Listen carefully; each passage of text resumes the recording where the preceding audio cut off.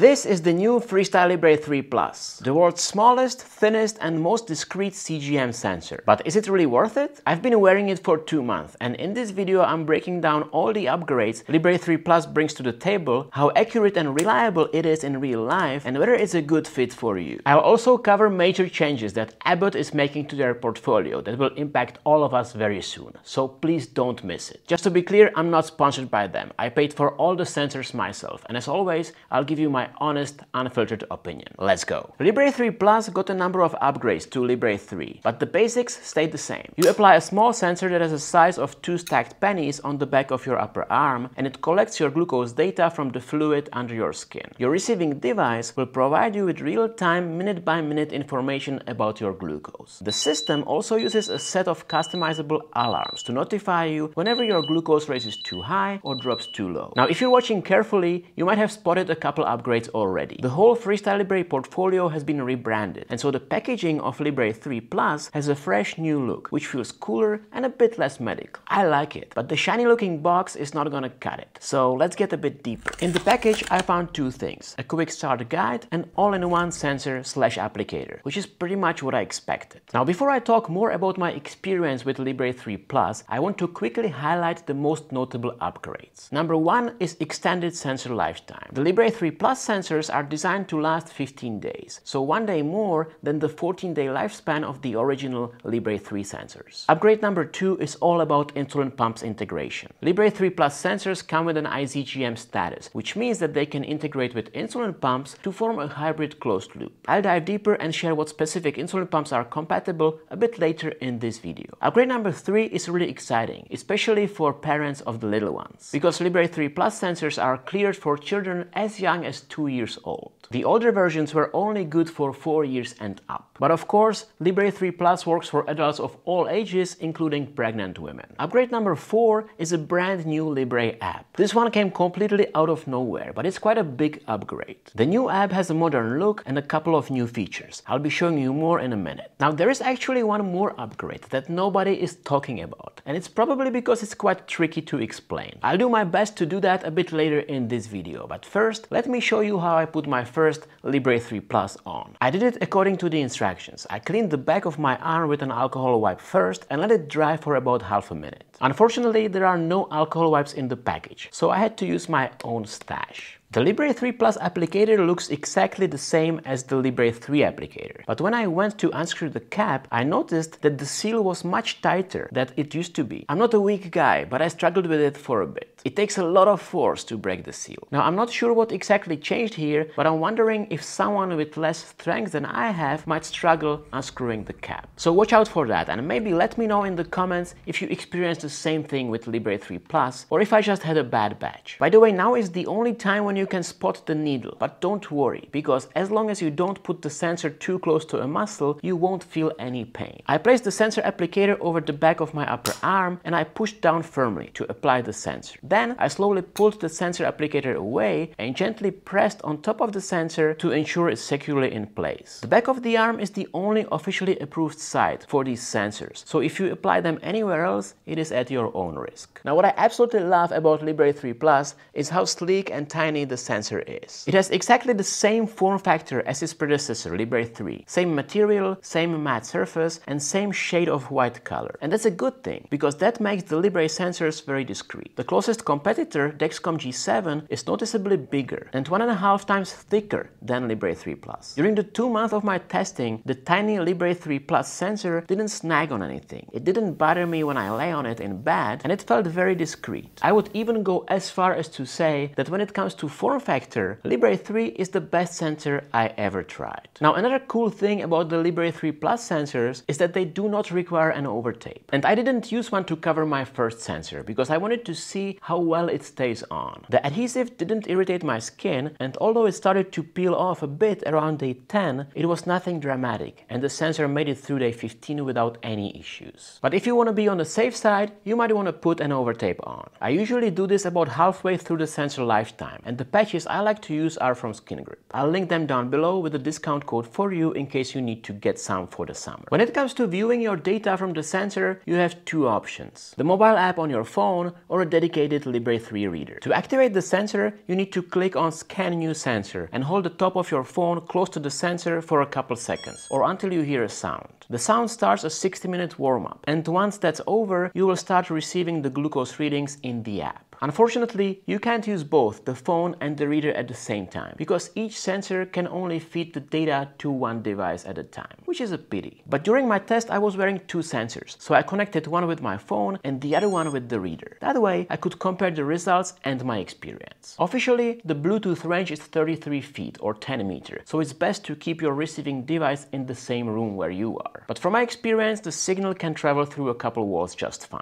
I rarely lost the signal from the sensor and whenever I did, it came back within a couple minutes. A clear advantage of the phone app is that you don't need to spend an extra 75 bucks for the reader and you don't need to carry another device with you. Plus you get access to the new features in the new Libre app, which I will show you in a minute. But of course, the data transfer will drain your phone battery. On the other hand, the reader lets you keep your diabetes data separate from your phone and you can leave your phone behind, which is kinda nice sometimes. It also works as a standalone blood glucose meter, which can be useful as Libre 3 Plus isn't always perfectly accurate.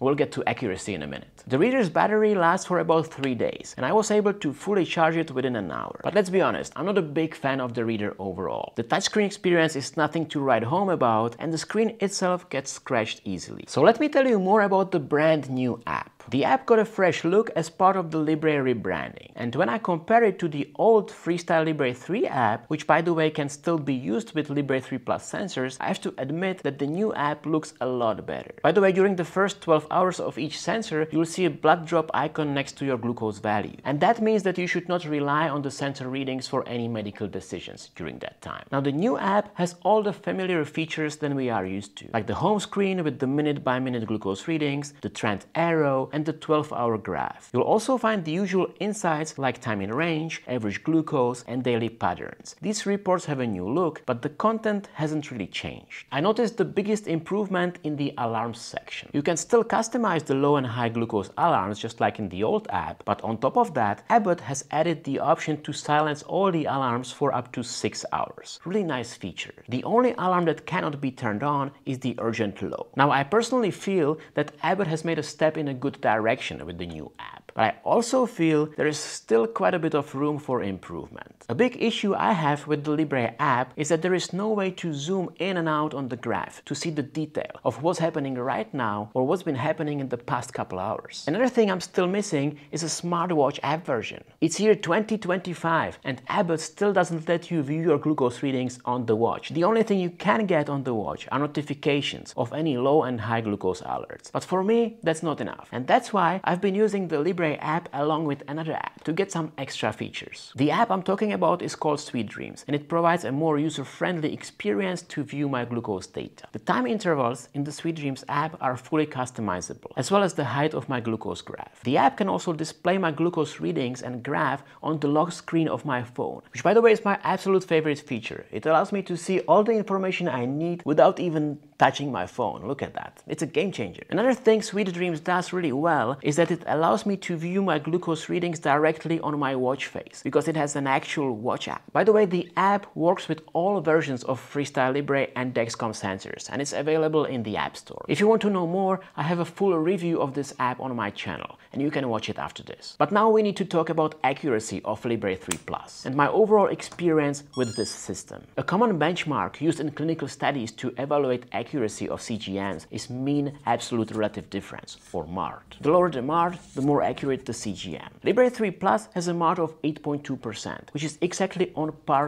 with Dexcom G7 and slightly worse than the original Libre 3 sensor, which had a MARD of 7.9%. But to be honest, the tiny difference in these percentages doesn't really mean anything in real life. I've used Libre 3 Plus for two months and I did dozens and dozens of finger pricks to check how accurate the sensor readings were. And I'm happy to report that 90% of the time they were very accurate. As you can see from the photos I'm showing on the screen. Even during times when my glucose was rising or dropping relatively fast, the sensor was picking up on those sharp movements really well with minimum lag time. The only time when I struggled a bit was the first couple days of each sensor, when it was showing slightly lower numbers compared to my glucometer, but nothing dramatic. By the way, the Libre 3 Plus sensors are factory calibrated. That means that you don't have to do any finger pricks to calibrate them to your blood reading, and that's a good thing. But what I don't love so much, and what I've always criticized Freestyle Libre sensors for, is that this system doesn't give us the option to recalibrate the sensor whenever we need to. Unfortunately, this is still the case with Libre 3 Plus, and that makes me sad. Next up, let's talk about insulin pump integration with Libre 3 Plus. If you're not a pump user, don't go just yet. You'll still want to hear an important announcement on the future of Freestyle Libre sensors. It's coming up shortly. You can always skip ahead using the timestamps below. So Libre 3 Plus now works with insulin pumps to create hybrid closed loop. As of May 2025, it's compatible with the iLet from Beta Bionics, Twist from Sequel MedTech in the US, and MyLife Loop in a number of European countries. I got to test the MyLife Loop system with Libre 3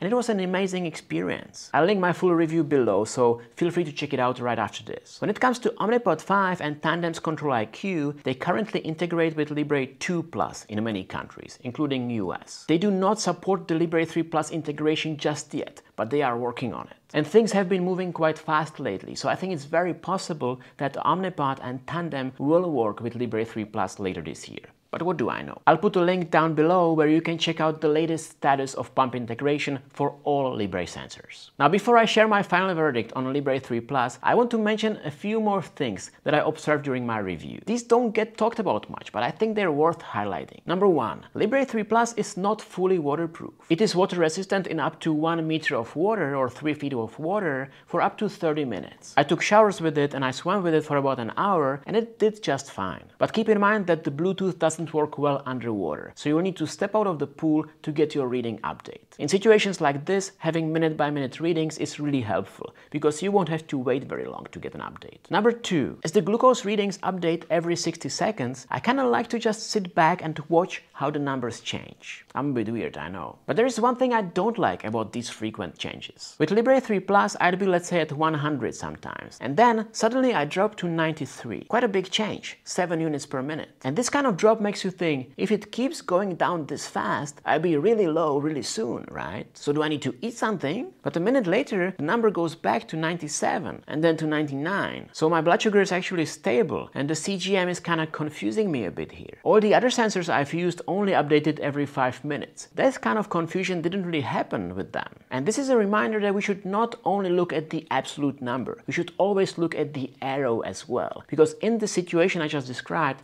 the arrow was straight line the whole time. It didn't indicate that I'm dropping really fast. Number three, and this is actually the upgrade that I mentioned was a bit tricky to explain, so bear with me. See, all the previous versions of the Libre sensor could only store the data in the sensor itself for 8 hours. Whenever I left my phone behind for longer than that, I would end up with a hole in the graph and I would lose all the data that was older than those 8 hours. But the Libre 3 Plus sensors have memory storage of 15 days in the sensor. And this means that the sensor can store all the data even if it's not connected to anything for days. And whenever you do reconnect, all the data gets transferred to your receiving device, which I think is pretty amazing. Number four, the new Libre app has a bunch of cool things. You can use it in a bright mode and a dark mode. The app allows you to narrow down your target range from the default 70 to 80 milligrams per deciliter to pretty much anything you want. And you have this plus button located conveniently on the home screen, which allows you to easily add various events like food, exercise, insulin, or any notes. Number five, one thing I don't love about all the Libre apps, including the new one, is that there is no way to snooze and repeat my high glucose alarm. The alarm only goes off once when I cross the set level. It doesn't repeat until I go back to range and cross that level again. But when my blood sugar goes high and stays high, I kinda like to get another reminder a couple hours later so I can take more insulin. Unfortunately, that's not possible with the native Libre app. And you guessed it, Sweet Dreams can do it. Number 6. Libre 3 Plus also allows you to share your glucose data with up to 20 caregivers or family members. You can activate the data sharing in the Profile tab and when you do that, your followers will be able to view your real-time glucose and to receive customized notification about your glucose levels on their smart devices using the Libre Link Up app. By the way, the Sweet Dreams app that I mentioned earlier is also using one of the Link Up app accounts to get your data into that app and show it to you on the lock screen of your phone or on your watch. And of course, Libre 3 Plus also allows you to view your data on a computer more holistically and share it with your medical team using the Libre View app, just like all the other older Freestyle Libre versions. Number 7. Libre 3 Plus is not very good when it comes to direct integration with third-party apps. Although it works really well with Sweet Dreams using the LinkUp account, it doesn't work with Apple Health, for example, which I think is a shame. Number 8. When it comes to removing the Libre 3 Plus sensor after 15 days of use, it can happen that the sensor is stuck really well and you're having trouble taking it off. An easy way to fix this issue is just rubbing a little bit of oil on the adhesive and letting it sit for a few minutes. This will loosen the adhesive and make it much easier to peel off the sensor. Of course, you can buy adhesive remover wipes as well, but any oil will do the job. Guys and girls, if Libre 3 Plus caught your interest, you might be wondering, how much does this bad boy cost and when it will be available in my country? And is the new Libre app already available? The Libre 3 Plus sensors are currently available in the US and a number of Western European countries. Hopefully, more countries will be added to the list soon. I bought Libre 3 Plus sensors in Germany and the price was the same that I used to pay for the old Libre 3 sensors. It was around 70 euros. Of course, your price might be different depending on your specific situation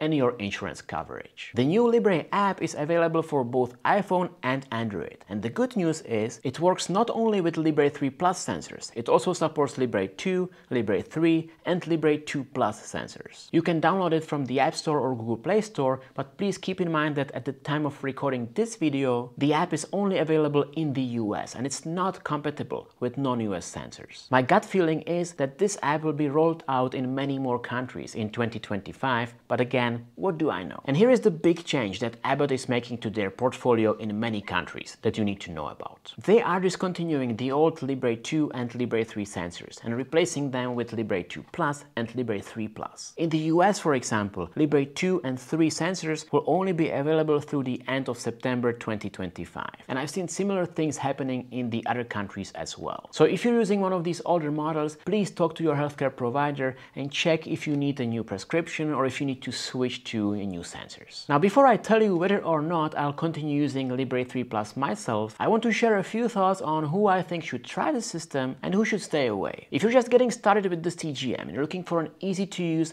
discrete, functional solution without too many bells and whistles, this bad boy is a good fit. Also, if you've been using Freestyle Libre sensors for a while and you're happy with them, I don't think there is any reason to not upgrade to Libre 3 Plus. But if you're looking for a more sophisticated CGM solution that can connect to more insulin pumps, to more third-party apps, and that allows for more customization and calibration, then you should probably look elsewhere. For example, in the direction of Dexcom G7. What I enjoyed the most about Libre 3 Plus is how tiny and good looking the sensor is, and it didn't give me many compression lows at night. It was really nice and I think Libre 3 Plus is a great product overall. But the thing is, I use the Omnipod insulin pump and my go-to automated insulin delivery system is Loop, which is a DIY solution. My setup works really well and I'm not willing to give it up. And my issue is that the Libre 3 Plus encryption makes it impossible to use this sensor in my setup. It just doesn't work. And that's why I decided to stick with Dexcom again. Now the thing is, Libre 3 Plus and Dexcom G7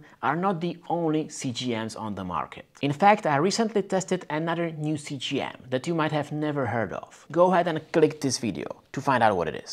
I will see you there. Ciao!